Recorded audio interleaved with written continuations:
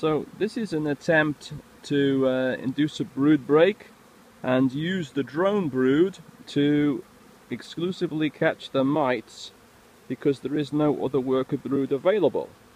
So how I've attempted to achieve that, in the bottom of this hive, below the excluder, is the queen, the bees of six to seven frames of brood, no brood except for one uncapped one uncapped frame of drone brood. Then above that is an empty medium to catch the honey. The bees are, haven't worked out yet that the hole is down there and not there. Above it is a board just to separate the rest of the hive.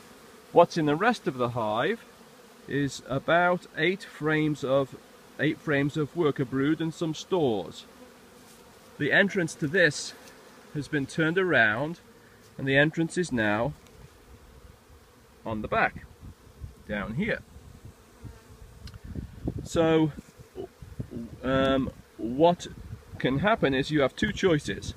You can either just allow this portion to raise its own queen and then recombine them for the honey flow or as an alternative you can take some of this Mann Lake pheromone that they get from somebody in, in Canada as you can see, this patch of bees like it, and this is supposed to let them believe that they're queen right, and in that case, if they believe they're queen right, they shouldn't build new queen cells.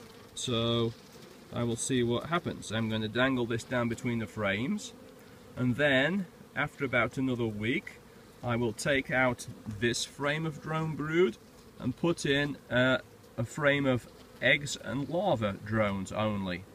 There will be no queen in here to lay any more eggs and all the workers that emerge, the mites from those, should go on top and enter into the, into the new drones.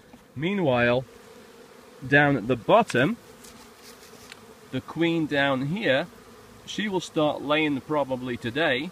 When she's doing that, it's going to be another week before the before the um, larvae are ready for the mites and so in the meantime all the mites that are actually phoretic and hanging on the outside of the bees should transfer themselves into that drone brood and then that can be cut out.